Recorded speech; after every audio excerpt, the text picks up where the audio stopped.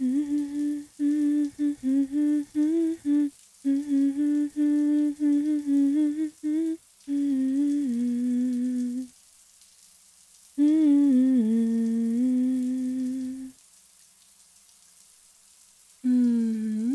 I didn't see him in bed. I didn't see him anywhere else in the apartment either. Well, today's Sunday. He probably went downstairs to start his day at work.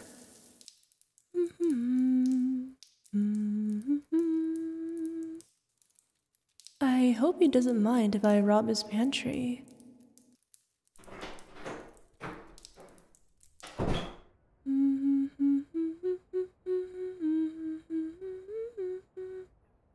Oh, hey! I was wondering where you were. Is that liquor? You sure you want to be drinking that in the morning? Is something wrong? Are you mad? Yep, he's definitely mad if he crushes a bottle of whiskey. But what do you mean, proud? Even after last night, you're still scared of me? I don't get it. You're always going on about how evil you are, and the only thing that terrifies you is being in love? But I. Did I really go too far? Can you at least tell me why you're so scared? Is that it? You don't want me to leave you? I don't want you to worry about that. Because I want to be the one to keep you safe. Safe from everything. I want to protect you. From people, from your thoughts, even God.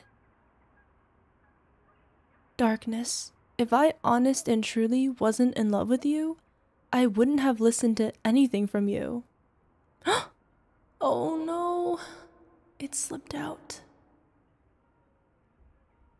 I. I, um. I love you. Not a day goes by when I'm not thinking about you. When I first saw you, you had me right then and there. If you had told me you wanted to be with me, I would have said yes every single time. It's still my answer. Yeah, as serious as your love for the devil. I don't want you to be scared.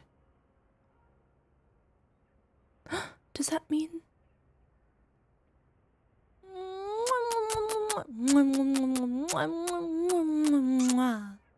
I'm the happiest woman in the world right now. I promise I will never hurt you, darkness. Never, ever, ever is anyone going to hurt my beautiful man. Come here, you.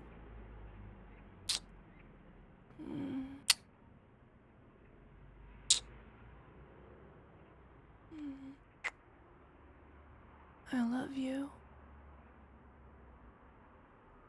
He said it. He said it. He said he loves me.